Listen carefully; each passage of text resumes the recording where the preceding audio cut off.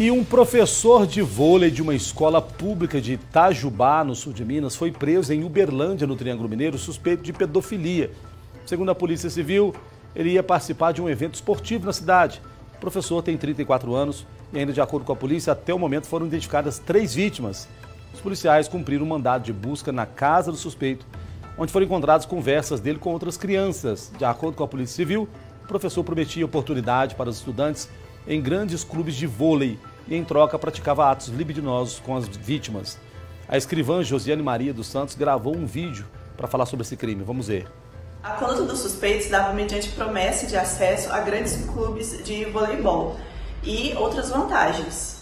O primeiro caso foi trazido através de, da mãe de uma das vítimas, onde ela compareceu até a delegacia de Polícia Civil de Itajubá e efetuou a denúncia. Mediante essa denúncia, é, nós investigamos o caso e conseguimos efetuar a prisão desse, desse professor. Ele foi localizado na cidade de Uberlândia, onde estaria participando de um evento esportivo, onde encontra-se preso até o presente momento.